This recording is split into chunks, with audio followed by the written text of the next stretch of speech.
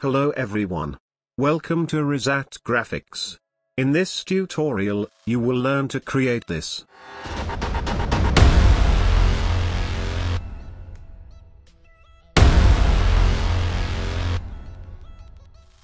Open Adobe After Effects. Go to the File menu, then import the required music. Select the music, and click Import.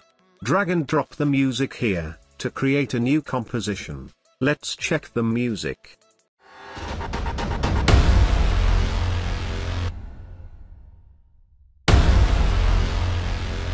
By the way, you can download this music file from my website.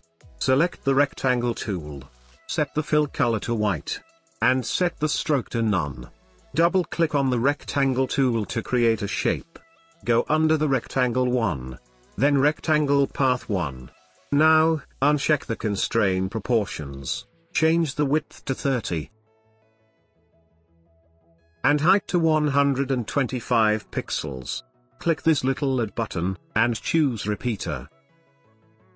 Go under the repeater 1. Change the copies to 30. Under the transform repeater 1, change the X position to 40. Adjust the anchor point accordingly. Cool. Rename the shape layer to levels. Select the pen tool. Set the fill color to none. And set the stroke to solid color. The stroke width should be 135 pixels. Create a straight line just above the levels shape.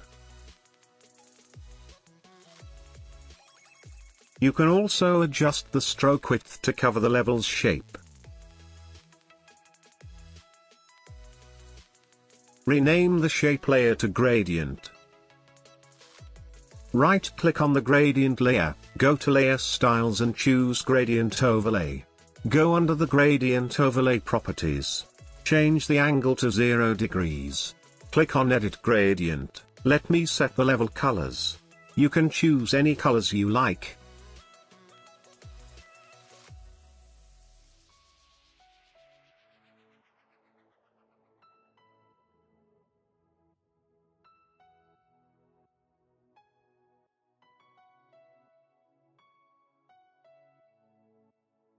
Looks good to me. Right-click on the gradient shape layer, and choose Pre-Compose. Rename it to the gradient.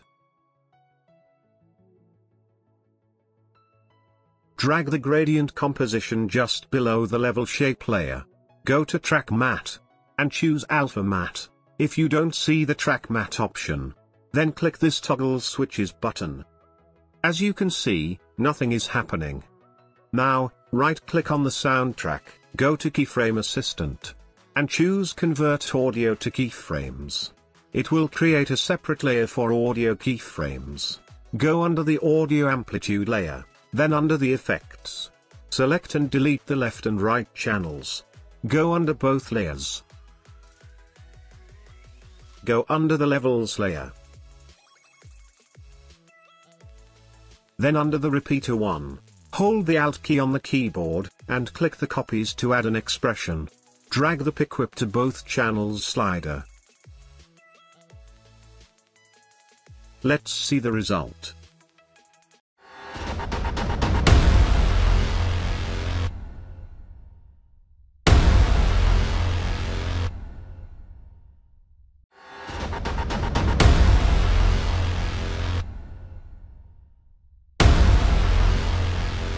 Looks perfect to me.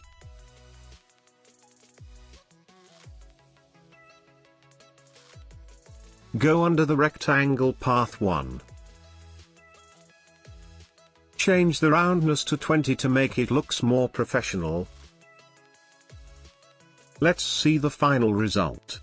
By applying this technique you can create an amazing audio level meter in After Effects.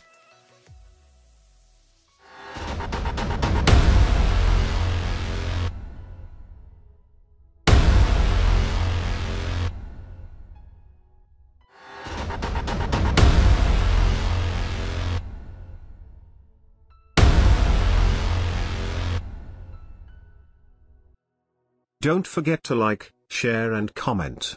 If you do have any questions, or if anything that is unclear, please leave a comment. I will respond as soon as possible. I'll see you in the next tutorial. Thanks for watching. Good luck.